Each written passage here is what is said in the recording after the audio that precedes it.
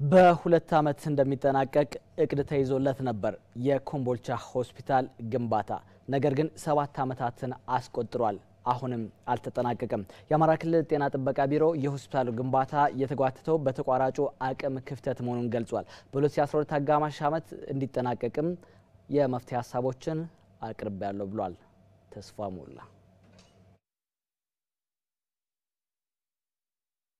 የኮምቦልቻ ከተማ ነዋሪዎች በቂና የተሻለ የሕክምና አገልግሎት ዛሬም ማግኘት አልቻሉም። በ2004 ዓ ም የተጀመረው ዞናል ሆስፒታል ችግሩን ይፈታል ተብሎ ቢጠበቅም የግንባታ ሂደቱ በመጓተቱ የታሰበውን አገልግሎት ለነዋሪዎች መስጠት አልቻለም። በከተማዋ አራት ጤና ጣቢያዎች ቢኖሩም በእነዚህ ተቋማት የሚስተናገደው የህዝብ ቁጥር ከፍተኛ ነው። የአማራ ቴሌቪዥንም በአንደኛው ጤና ጣቢያ ተገኝቶ እንደታዘበው በርካታ ቁጥር ያላቸው ታካሚዎች ለረጅም ጊዜ የአገልግሎት ተራ ይጠባበቃሉ። ከዚህ ባሻገር ከጤና ጣቢያዎቹ አቅም በላይ የሆነ ህመም ሲያጋጥም በከተማዋ የሪፈራል አገልግሎት የሚሰጥ ሆስፒታል ባለመኖሩ ታካሚዎች አገልግሎቱን ለማግኘት ወደ ደሴ ሪፈራል ሆስፒታል ይጓዛሉ። ይህ ደግሞ ከወጪና ሕክምናውን በቅርብና በፍጥነት ከማግኘት አንጻር ከፍተኛ ጫና እንደፈጠረባቸው ታካሚዎች አስረድተዋል። ስንቅ አለ፣ መሳፈሪያ አለ። እዛ እንደገና ተከትሎ የሚሄደው ሰው መተኛ እየተቸገረ ሌላ በሽታ እያፈራ ነው ያለው። ሙገድ ቢሞታል። እዛም ትሄድም ደግሞ በገበሬውን በሬውን ሽጦ ተበድሮም ነው ደስ የሚሄደው። ወዶ አይደለም። ለምንድን ነው የሚሄደው? ጥሩ ሕክምና ባለመኖር ነው። የኮምቦልቻ ከተማ ጤና ጥበቃ ጽሕፈት ቤት ኃላፊ አቶ ጌታ ሰው አበራ በከተማዋ ሆስፒታል ባለመኖሩ ከተማዋ ካላት የህዝብ ቁጥር አንጻር ተገቢ የህክምና አገልግሎት ለመስጠት አልተቻለም ብሏል። በቀን ከስድስት ሰባት እናቶች ከእኛ ከተማ ብቻ ወደ ደሴ ሆስፒታል refer እንላቸዋለን። ይሄ ደግሞ ሆስፒታሉ ቢኖር ኖሮ የተሻለ አገልግሎት ማግኘት ይችሉ ነበረ። ለተለያየ ወጪም አይዳረጉም ነበር። በዚህ አጋጣሚ ደግሞ ያው በቅርበት አገልግሎቱን ማግኘት ይችሉ ነበረ። zonal ሆስፒታሉን በዋናነት እያስገነባ የሚገኘው የአማራ ክልል ጤና ጥበቃ ቢሮ በበኩሉ ግንባታው የዘገየው በተቋራጩ የአፈጻጸም ችግር መሆኑን ጠቅሶ በ2012 አጋማሽ ዓመት ስራው እንዲጠናቀቅ ግፊት እያደረግኩ ነው ብሏል። ለስራ የሚያስፈልገውን ነገር ቀድመን በ percent በ material ኦቹ በገቡት percent ልክ ዋጋ ከፍለን እነዚያን የእሱንን አቅራቢዎች የመሸኘትና እሱ በሰዓቱ ስራውን እንዲያጠናቀቅ የማድረግ ነገር እንከተላለን። ካልሆነ ደግሞ እንዳልነው እነዚህ የልማት ድርጅቶች በልዩ ሁኔታ ቢሆን ልክ እንደዚህ ሳይወዳደሩ በልዩ ሁኔታ ኮምቦልቻ ላይ ምክንያቱም የቀረው ስራም ውስን ስለሆነ በልዩ ሁኔታ ገብተው እንዲሰሩት የማድረግ እንደዚህኛው እንደ ጎንደር ተወዳድረው እንዲገቡ ሳይሆን በልዩ ሁኔታ ተወስነው ገብተው እንዲሰሩት የማድረግ ብናቋርጠው እንኳን ይህን የማድረግ ስራ እንከተላለን ነው። ይህ ዘገባ በተጠናቀረበት ወቅት ስለ ጉዳዩ መረጃ እንዲሰጡን የሆስፒታሉን የስራ ተቋራጭ ስሪኤም ኢንጂነሪንግን ለማግኘት ያደረግነው ሙከራ አልተሳካም። በ157 ሚሊየን ብር ይገነባል የተባለው የኮምቦልቻ zonal ሆስፒታል ግንባታው በታቀደው ጊዜ ባለመጠናቀቁ ምክንያት አሁን ባለበት 80 በመቶ አፈጻጸም 170 ሚሊዮን ብር ወጪ እንደተደረገበት ከአማራ ክልል ጤና ጥበቃ ቢሮ ያገኘነው መረጃ ያመላክታል። በማህበር ተደራጅተው በባህር ዳር ከተማ ቀበሌ 14 የገበያ ቦታ የተሰጣቸው ነጋዴዎች በመሰረተ ልማት ችግር የንግድ ስራቸውን መከወን እንዳልቻሉ ይናገራሉ። በተለይ የመንገድ ችግር እንቅፋት እንደሆነባቸውም በቅሬታቸው ያነሳሉ። አዲሱ ዳዊት ተጨማሪ አለው። በባህር ዳር ከተማ በተለምዶ አመዶ ገበያ ተብሎ በሚጠራው የገበያ ቦታ በርካቶች በንግድ ስራ ተሰማርተው ቆይተዋል። ሆኖም ቦታው ለልማት በመፈለጉ ነጋዴዎች በትክ ወደ ተሰጣቸው ቀበሌ 14 አቡነ ሀራ አካባቢ እንዲያመሩ ተደረጉም። የአቡነ ሀራ ገበያ ግን እንደ አመዶ ገበያ ሊደራ አልቻለም። ምክንያቱም እዚህ መብራት፣ መንገድ፣ ውሃ የመሳሰሉ መሰረተ ልማቶች የሉምና። በተለይ የገበያተኛው መድረሻ የተሽከርካሪዎች መተላለፊያ መንገድ የተመቸ አይደለምና ነጋዴዎች ለሶስት ሳምንታት ያህል እጃቸውን ሳይፈቱ ሸቀጣቸውን ሸፋፍነው ይውላሉ።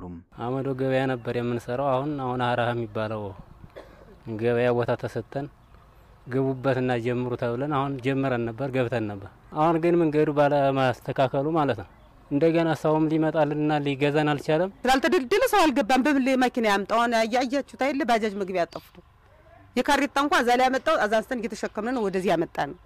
ካሬታ እንኳ አልገባልንም። ስለዚህ ወይ በዚህኛው ወይ በዚህኛው ታልተደለደለ የሶስት መራመጃ መቻለሁ ገበኛው አልገባ አለ። መሻጋሪያ የለውም።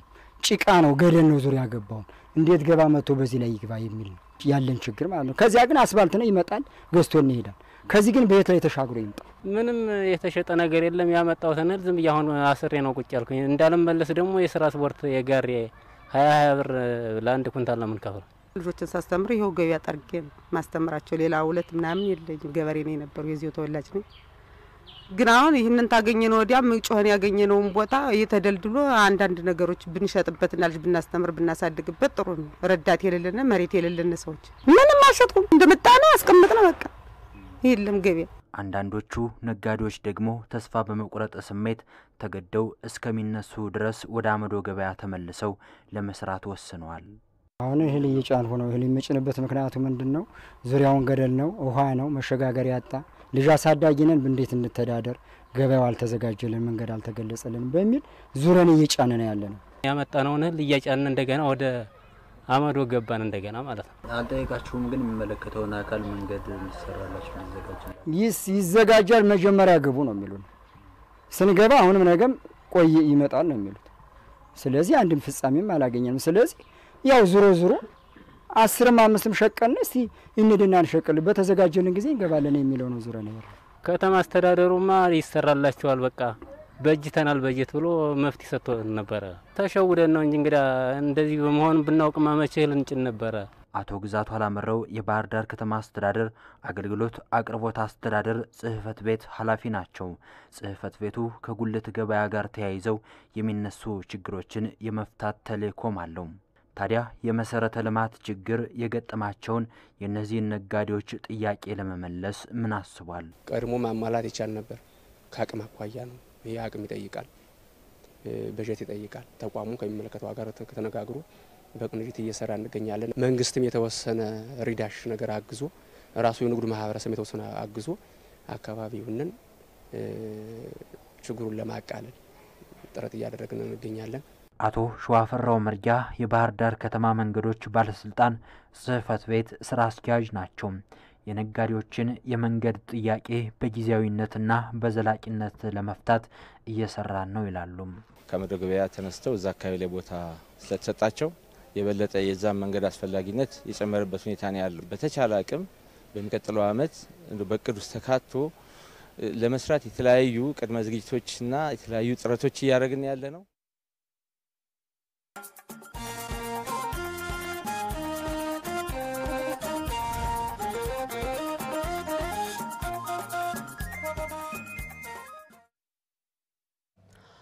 አሁን ደግሞ ወደ ሀገር አቀፍ መረጃዎች አልፋለሁ።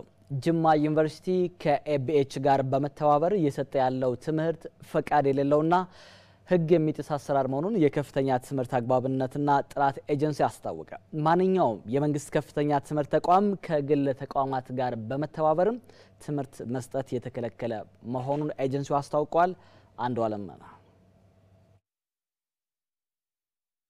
ከፍተኛ ትምህርት ተቋማት ማስተማር፣ ምርምርና አገልግሎት መስጠት ዋነኛ ተግባራቸው ነው። ከዚህ ውስጥ ግን ዋነኛ ተግባራቸው የሆነውን ማስተማር እንደ አገልግሎት በመቁጠር ያለ አግባብ በትብብር ሲሰጡ የነበሩ ተቋማት መኖራቸውን የከፍተኛ ትምህርት ተቋም አግባብነትና ጥራት ኤጀንሲ ገልጧል። ሌሎቹ የትብብር ትምህርትና ስልጠና ሲያቋርጡ፣ ጅማ ዩኒቨርሲቲ ግን አለማቆሙ ሕግ የሚጥስ ነው ሲሉ የከፍተኛ ትምህርት ተቋም አግባብነትና ጥራት ኤጀንሲ ምክትል ዋና ዳይሬክተር አቶ ታምራት ሞታ ተናግረዋል። ትብብር ስልጠና የሚል ከግል ተቋማት ጋር ስለሚሰሩ የደረስንባቸውን ወደ አራት ተቋማት ባህር ዳር ዩኒቨርሲቲ ከናሽናል ኮሌጅ ጋር ከኛ ፈቃድ የወሰደ ኮሌጅ ጋራ የትብብር ስልጠና እንደሚሰጥ፣ ሀረማያ ዩኒቨርሲቲ አዲስ ኮንቲኔንታል